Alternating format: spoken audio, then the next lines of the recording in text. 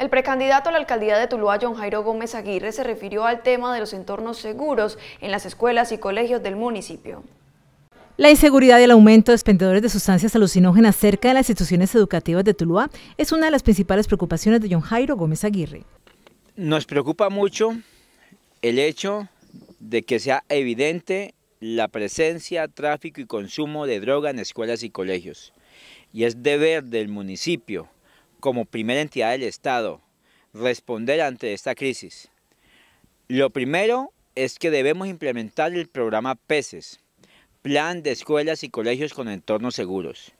Estos escenarios, como el que está a mi espalda de esta escuela, se prestan para que los delincuentes, aprovechando el desorden al, exterior de las escuelas y de los colegios, puedan aquí expender su vicio e enviciar e instrumentalizar los niños.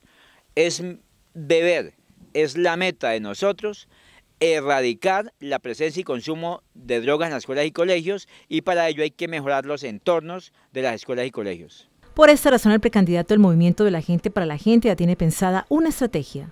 Tiene que ser acompañada del 100% de la administración municipal, del ICBF, de la comunidad educativa, de la Defensoría de Menores, de la Comisaría de Familia, todas las entidades que convergen en el municipio bajo la dirección del alcalde, incluyendo la Policía de Infancia y Adolescencia, debe propender porque estos entornos no saludables no se repitan en las escuelas y colegios y así puede ser más fácil la labor de control adentro de los planteles educativos. Los entornos educativos no solo tienen que ver con el exterior que le rodea, sino también con las infraestructuras. De infraestructura, de seguridad, de educación, también de accionar de la policía de poder accionar cuando hay entornos seguros y de la comunión entre las familias, la comunidad educativa y todas las instituciones del Estado. Erradicar la presencia y consumo de drogas en escuelas y colegios es la meta para poder ir ganándole a mediano plazo la guerra a la inseguridad en el municipio.